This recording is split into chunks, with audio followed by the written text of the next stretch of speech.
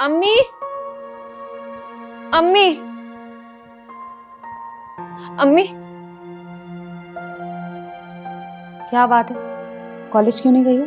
अम्मी कॉलेज को छोड़ें। मेरी तो कुछ समझ में नहीं आ रहा है। देखें सिद्रा ना पागल हो गई है। आप उसे प्लीज़ पागल खाने में जमा करवा दें। शर्म तो नहीं आ रही ना? बहन होने के नाते उसका ख्याल करने के बजाय अपनी माँ को मशवरा दे रही हो कि पागल खाने में फेंक के आ जाए। अम्मी आपको पता है ना कल रात को सिद्रा ने खुदकुशी करने की कोशिश की है।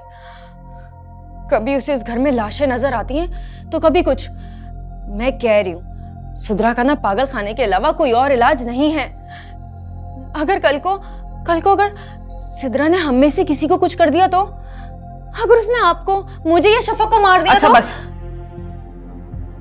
बकवास करने की ज़रूरत नहीं। फजूल बातें करने के बजाय मेरी मदद करो। और अगर वो भी नहीं कर सकती ना बेटा तो अपने काम से काम रखो। बेटी है मेरी। फ़िक्र है मुझे उसकी। मैं करवा लूँगी उसका इलाज।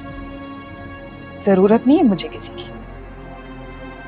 वैसे भी शम्स और तलाल ने कहा है कि उस पे साया है।